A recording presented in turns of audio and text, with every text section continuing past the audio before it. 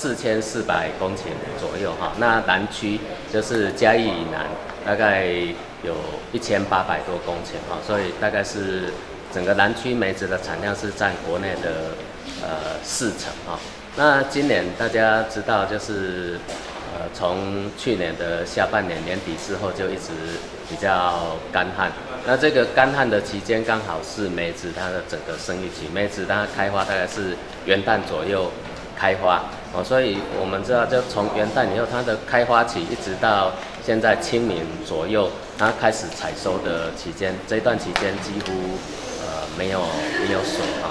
那在整个生育期没有水，就造成它的产量有稍微。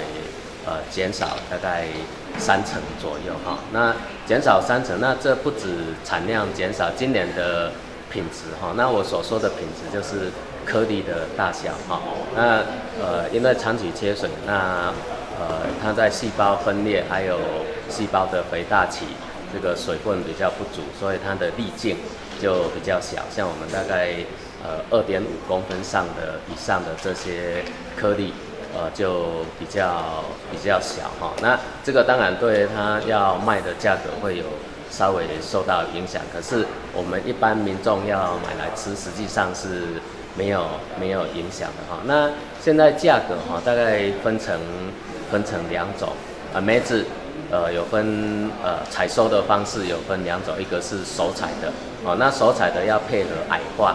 我们这几年一直推动这个梅子的矮化，就是树不要那么高，采收不方便，哦，把它截枝，把枝条修剪下来矮化，做手采的。那现在手采的价格大概从二十几块到四十块都有。诶，手采有个好处就是不会破掉，哦，表皮不会擦伤。那如果是干采梅，干采梅是。呃，没有经过矮化或是那个地形比较差的，那用竹竿去把它敲下来。那这个这个部分大概从八块钱到十四块都有哈。那最近因为我们一直有做一些呃宣导吃梅子的好处哈。那呃像昨天这个干菜的价格，好。那去年的价格是比今年稍微好一点哈，去年价格大概比今年高差不多两成左右。不过呃呃，从昨天开始，这个因为也比较接近梅子的尾声，那呃呃，龙鸟鼠也做了很多这些宣导的活动。有机的梅金，农会界我们是第一个拿到有机通过有机的啊，通过有机验证的，这个是梅金。刚刚曾科长也有讲到，梅子是碱性的，它对身体非常好，因为它有丰富的有机酸。啊，到它在我们身呃身体里面在做生理作用的时候呢，它呈呈现的是碱性的，所以相对的梅精它也是非常好的一个碱性食品。然后我们又用梅精去延伸出来，去生产像梅精锭。梅精锭的话，最重要最重要的就是要给。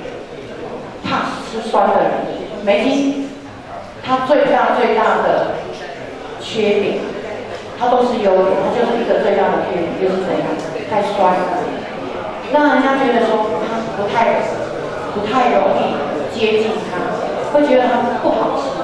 所以呢，我们就用梅精呢，用很简单的方式把它打成，让每一个人怕吃酸的人，只要用特殊的口服的方式，就可以把梅精锭口服进。到体内帮助我们在做体内活长，好，这是霉菌病。